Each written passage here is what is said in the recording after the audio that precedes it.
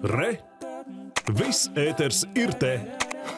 Pagājušajā gadā Ķekavas novadā ierīkotas vairāk nekā 40 video novērošanas kameras.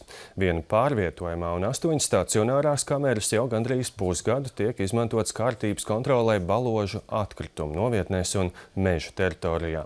Un joprojām raizes radot dārzkopības kooperatīvu iemītnieku attieksme. Un turpina Zemgāles televīzija. Cīnoties ar neapzinīgiem iedzīvotājiem, Baložos jau 2018. gada nogalē tika uzsākta atkritumu konteineru novietņu iežogošana, bet no jau apmēram pusgadu noteikumu ievērošanu uzrauga video novērošanas kameru modrāts. Video kameras ir saslēgtas vienotā sistēmā un notiekošais redzams reģionālās pašvaldības policijas dežurdaļā ļoti varam identificēt pēc mašīnas numura mm, to cilvēku, kas ir izmetis šos teiksim, atkritumus, izsaukt uz, teiksim, uz tādām kā pārunām. Tā pašā laikā, protams, mēs braucam uz notikumu vietu, skatāmies arī, teiksim, kāds atkritums cilvēks ir izmetis, cik tie ir, nu, teiksim, nu, neatbilstoši likumam. Visu to fiksējam, uzsākam administratīvu pārkāpumu lietu. Nepilnu pusgadu laikā tādējādi policijai izdevies pieķert vairākus nelegālos atkritumu izmetējus. Pa karstām pēdām bijām aizturējuši vienu kā riepu izmetēju. Bija arī vairāk gadījumu, kad bija arī viens gadījums, ko es atceros, kad bija bojāts atkritumu tvertnes. Vairums uzzināto iedzīvotāji atzīst, ka kopš video novērošanas ieviešanas kārtība esot lielāka. Tomēr ne visi ir apmierināti ar apmēram 8000 eiro ieguldīšanu astoņu atkritumu novietņu uzraudzīšanai. Tik naudu izgāza. Priekš kam ir vajadzīga? Priekš kam? Tagad skaties, kas te dara.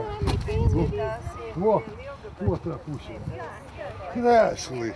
Kas tik tur nav? Nu tagad aizveda jau. Pakaļāli šitā vieta, kaudzi. Atcīgie daudz dzīvokļu māju iemītnieki arī teica, ka joprojām nesot atrisināt problēmu ar privātu māju un dārzkopības kooperatīvu iemītnieku pienesumu konteineriem. Nē, es redzu, ka piebrauca privātās mašīnas un ļoti daudz. Es pat dažkārt domāju, ka es pat varētu pierakstīt to numuru un jums paziņot. Ļoti daudz tāds ir. Kas vienkārši samet... Jā, un ļoti lielā daudzumā, lielās kastes.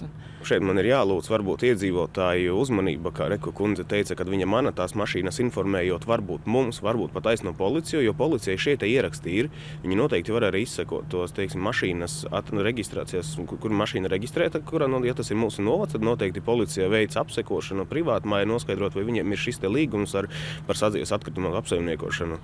Pavisam pagājušajā gadā Baložos un Daugmalē uzstādītas 42 video novērošanas kameras, tostarp arī viena pārvietojumā, ar kuru izdevies atklāt arī kādu meža piesārņotāju. Vairums no kamerām gan uzrauga kārtību izglītības iestāžu un citu publisko vietu tūmā. Sandra Leitāna, Andrs Pāns, Zemgals reģionālā televīzija.